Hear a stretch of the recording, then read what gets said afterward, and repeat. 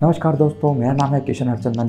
स्वागत है आपका मेरे चैनल में। और आज मैं बात करने वाला हूँ एवेंजर एंड गेम के लूप होल के बारे में स्टोरी के प्लॉट होल्स के बारे में। तो ये जो वीडियो है, ये बहुत ही ज़्यादा स्पॉइलर का होने वाला है। तो अगर आपने अभी तक एवेंजर एंड गेम मूवी नहीं देखी है तो ये वीडियो आपके लिए नहीं है।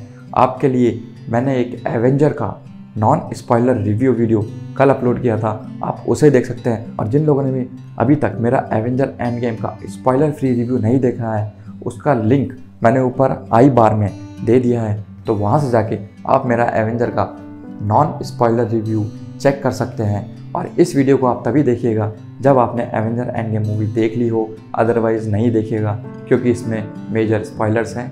तो चलिए शुरू करते हैं।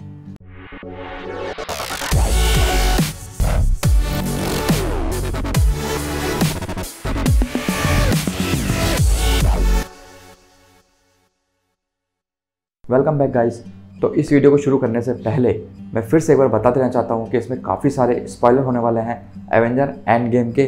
तो अगर आपने अभी तक मूवी नहीं देखी है तो प्लीज़ इस वीडियो को यहीं स्टॉप कर दीजिए। पहले आप जाके एवेंजर एंड गेम मूवी देखिए, उसके बाद आके इस वीडियो को चेकआउट कीजिएगा। तो चलिए डिस्कस करते हैं क्या है वो लूप होल इशू तो मेजरली इसमें छोटे छोटे छोटे छोटे काफ़ी सारे इश्यूज़ मुझे नज़र आए हैं मूवी में।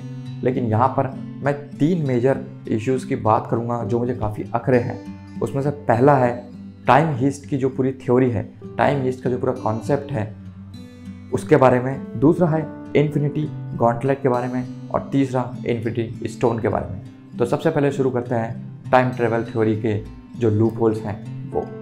तो टाइम ट्रेवल थ्योरी का सबसे पहला लूप होल जो मुझे समझ में आया, जो मुझे नज़र आया, जिसने मुझे काफ़ी ज़्यादा परेशान किया है, वो ये है कि प्रेजेंट से ये एवेंजर्स पास्ट में जाते हैं स्टोन्स ग्रैब करने के लिए। लेकिन जाने से पहले प्रेजेंट में थोर जो है वो थैनोस को मार देता है, उसकी, उसका सर कलम कर देता है। ये हमने देखा शुरू के आधे घंटे में ही। उसके बाद ये लोग जाते हैं पास्ट में। तो पास्ट में ये लोग सारे इन्फिनिटी स्टोन कलेक्ट करना चाहते हैं, जिससे कि जो थैनोस ने जो स्नैप इफ़ेक्ट किया है, उसको रोल बैक कर सके। लेकिन टाइम ट्रैवल के ज़रिए लोग स्टोन तो ले आते हैं, लेकिन टाइम ट्रैवल के ज़रिए जो पास्ट का थैनोस है, वो भी प्रेजेंट में आ जाता है। तो इस तरीके से पास्ट जो है, उसका थैनोस प्रेजेंट में आ गया है और जो प्रेजेंट का थैनोस है, उसको ऑलरेडी थोर मार चुका है। वो जो पास्ट का थैनोस है, उसकी बैटल हम लास्ट के वन आवर में देखते हैं एवेंजर्स के साथ में। और फिर आयरन मैन जो है, अपने स्नैप से उस थैनोस को उसकी आर्मी के साथ धूल में उड़ा देता है। तो अब यहाँ क्वेश्चन ये अराइज होता है। और जैसा कि मुझे बताया भी गया है जो चोजन वन है वो हल्क को कहती है कि अगर तुम ये इन्फिनिटी स्टोन ले गए मुझसे तो जो बैलेंस है, जो होनी होने वाली है आगे, वो नहीं होगी क्योंकि स्टोन तुम ले जाओगे। तो हल्क कहता है कि मैं आपको वापस कर दूँगा, जिससे पास्ट और फ्यूचर का जो बैलेंस है वो बना रहे। पास्ट में जो घटनाएँ होनी है, वो हों, उनमें कोई बाधा नहीं आए और फ्यूचर को हम लोग चेंज कर पाएँ। इस बेस पर द चोजन वन हल्क को वो इन्फिनिटी स्टोन देती है। तो और आखिरी में हमने देखा है कि कैप्टन अमेरिका भी टाइम ट्रेवल करके वापस जाता है उन उन उन पास्ट युगों में, उन लेयर्स में, और वो इन्फिनिटी स्टोन वापस रख के आता है। तो अब सवाल ये उठता है कि जब आपने पास्ट के थैनोस को फ्यूचर में मार दिया है तो फ्यूचर में आप दो थैनोस मार चुके हैं। तो जो इन्फिनिटी स्टोन की जो पूरी टाइमलाइन है, इन्फिनिटी वॉर की जो पूरी टाइमलाइन है, वो कैसे आ, मतलब होगी? क्योंकि थैनोस तो ऑलरेडी मर चुका है जो पास्ट का थैनोस है जो वक्त अभी घटा नहीं है उसके थैनोस को तो आपने ऑलरेडी फ्यूचर में मार दिया है तो वो थैनोस वहाँ कैसे आएगा एक इस चीज़ ने मुझे बॉदर किया है और दूसरी चीज़ ये एक बड़ी दिलचस्प सी बात है पता नहीं मतलब ये सिनेमेटिक यूनिवर्स से नहीं है लेकिन ये टाइम ट्रेवल से ही रिलेटेड है कि ये लोग पाँच साल बाद टाइम ट्रेवल में जाते हैं और वहाँ से आकर हल्क स्नैप करता है और बाकी सारे लोग वापस आ जाते हैं। तो थैनोस के अकॉर्डिंग इन्फिनिटी वॉर में उसने जब स्नैप किया था तो आधी आबादी गायब हो गई थी। ठीक है? उसके बाद हमें दिखाया भी गया है कि एंड गेम में काफ़ी एपोक्लप्स टाइप का आ, माहौल है सब तरफ़ क्योंकि आधी आबादी गायब हो गई है उनके उनके मोमेंटम बनाए गए हैं। अब क्या हो? मतलब ये एवेंजर्स को सोचना चाहिए था as a real world perspective से ये क्या होगा जब विश्व की आबादी या अर्थ की आबादी जस्ट डबल हो जाएगी या यूनिवर्स की आबादी जस्ट डबल हो जाएगी। चलिए यूनिवर्स को छोड़ भी देते हैं। तो अर्थ की आबादी जस्ट डबल हो जाएगी। सपोज़ आज हम टू मिलियन हैं तो हम फोर मिलियन हो जाएँगे एकदम से। स्नैप से। तो क्या फ़र्क पड़ेगा? अर्थ के रिसोर्सेज पर, लोगों की लाइफस्टाइल पे जो लोग ऑलरेडी जी रहे हैं, पाँच साल का समय बीत चुका है, उन लोगों ने अपने आप को मना लिया है, चीज़ें वापस पटरी पर आ रही हैं, और एक दिन अचानक ही अर्थ की आबादी डबल हो जाती है। तो वो चीज़ भी थोड़ी सी टाइम ट्रेवल में थोड़ा सा कहीं ना कहीं बॉदर करती है। वैसे ये मूवी है तो मूवी में इन सब चीज़ों पर ध्यान नहीं दिया जाता, लेकिन एक ये सोचने वाली बात है as a human point of view as a different perspective के अर्थ पर नेचर पर रिसोर्सेज पर उसका क्या फ़र्क पड़ेगा कि एकदम से ही आबादी डबल हो जाए। तो ये मुझे टाइम ट्रेवल में ये दो चीज़ें थोड़ी सी अखरी थी। इन दो चीज़ों में थोड़ा सा थोड़ा सा मुझे बॉदर किया था। दूसरा जो मुझे मेजर प्लॉट होल नज़र आया है वो है इन्फिनिटी गॉन्टलेट का।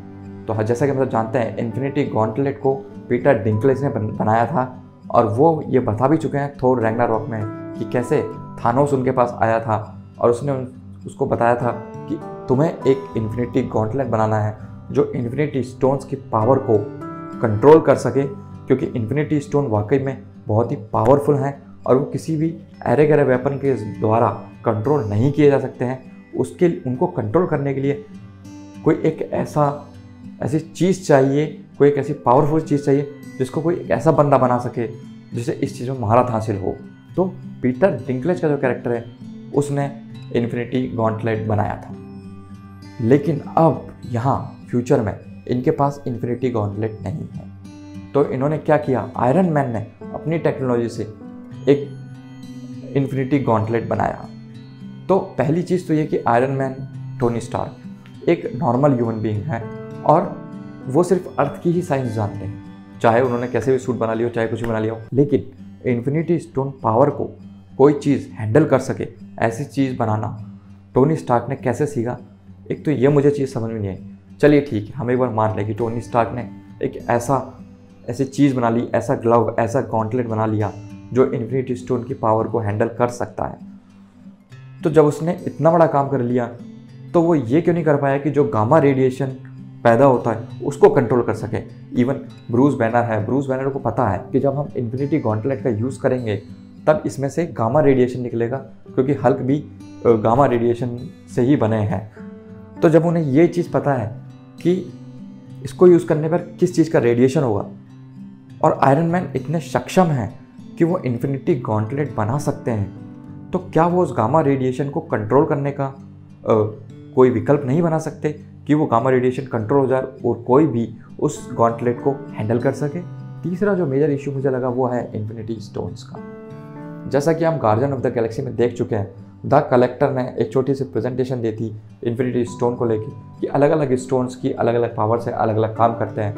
लेकिन एवेंजर इन्फिनिटी वार और एंड गेम में दोनों ही मूवीज़ में जो स्टोन्स हैं उनका सिर्फ़ एक ही यूज़ बताया गया है, वो है गॉन्टलेट के साथ में उसका स्नैप स्नैप से डिस्ट्रॉय करो स्नैप से रोल बैक करो स्नैप से डिस्ट्रॉय करो। इसके अलावा कुछ ज़्यादा डिटेल नहीं दी गई है, बाकी सारे स्टोन्स के बारे में कि इनसे और क्या हो सकता है और क्या नहीं हो सकता है।